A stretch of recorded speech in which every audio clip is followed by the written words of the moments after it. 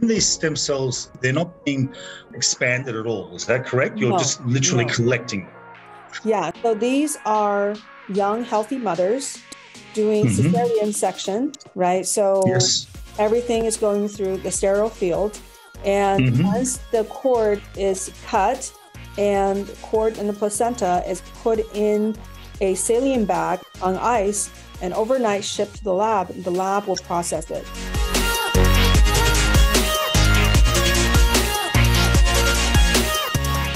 The stem cell space, the bone marrow and fat derived stem cells came first, especially bone marrow has been around for a very long time. So then umbilical cord Mhm. came later.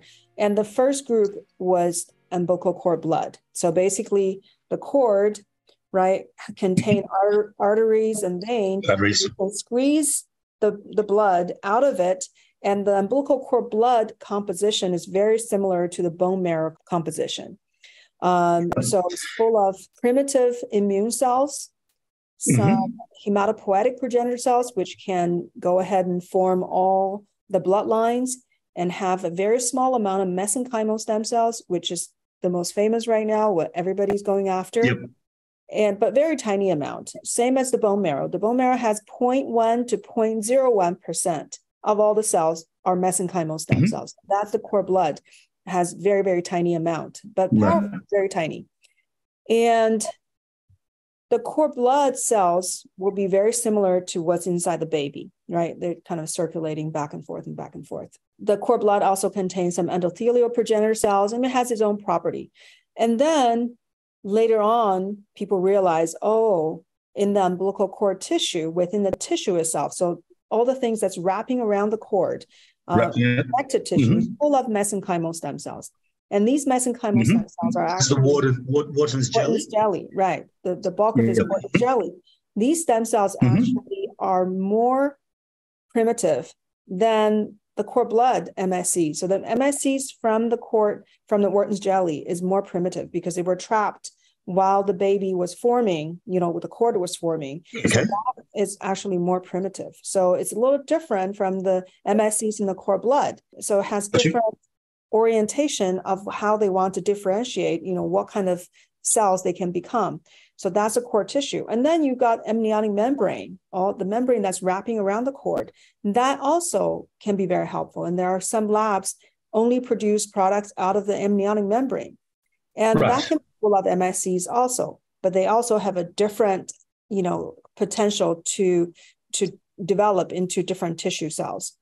So Gotcha. what I did was that I put all three together from the same donor because I've seen benefits from each source on their own. And I know they're all a little different.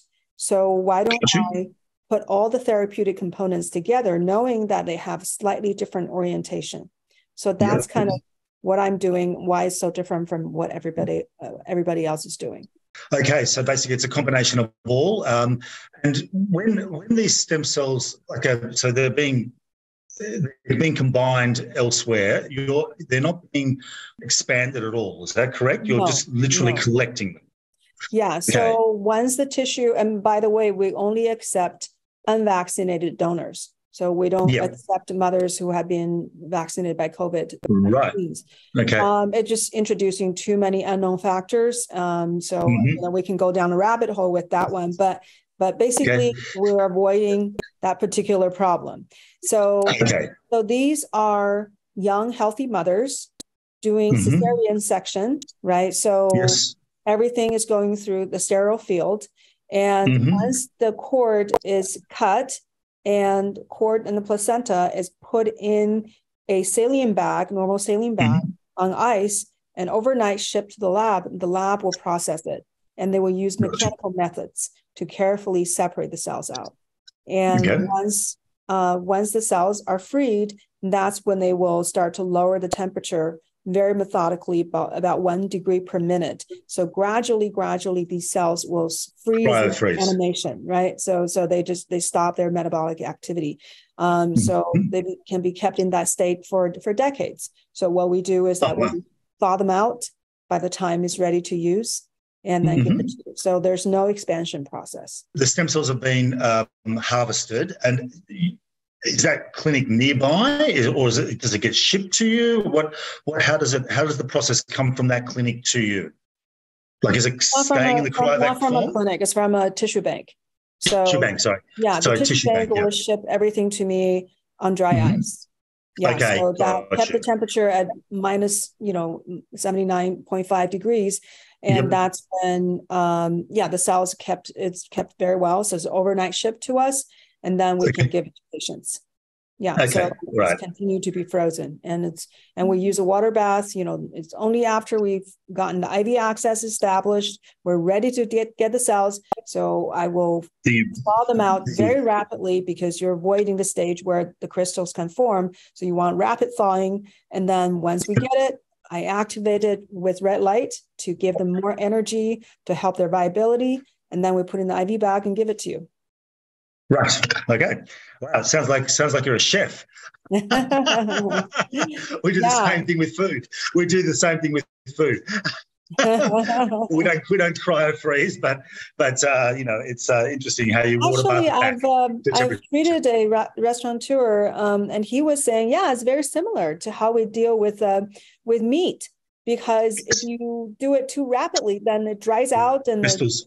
Right you lose the moisture, and then you get you know dry and you know not very good good meat That's anymore. exactly right. That's Yeah. exactly right. So, Yeah. so that's what I was referring to. So yeah, it's the same, a similar process. I mean, obviously it's not the same, but um, but uh, yeah, okay. I would really like to see whatever study I could in terms of the efficacy. I know you've, you've talked about it a little bit about.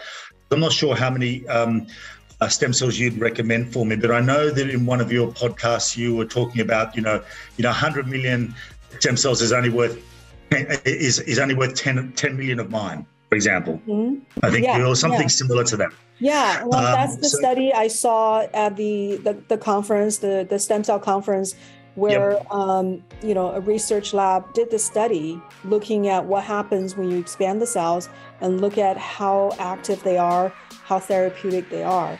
And so Yep. what they found out is that when you start to expand the cells at 10 times the number of cells as you know as un, unexpanded native cells you actually lose potency. So if you're giving you, you're giving 10 times more and you have less effect. So so that, that was what was you know what was quite a moment for me realizing that um, you know more is not better